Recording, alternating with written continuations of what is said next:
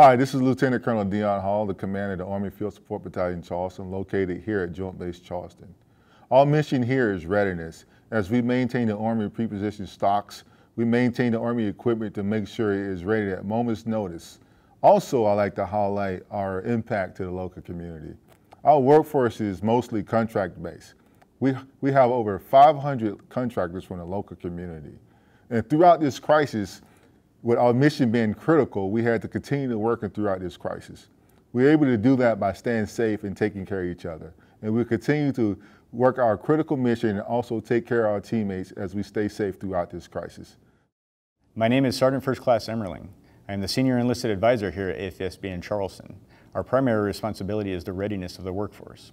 COVID-19 has provided us a significant challenge. The way we dealt with this challenge is to decentralize the workforce by splitting it into different shifts. Since safety is not a product, it is a process, we had to actively monitor all of the events that occurred to ensure that we actually were being safe. The goal now is to return the workforce back to a full level of efficiency.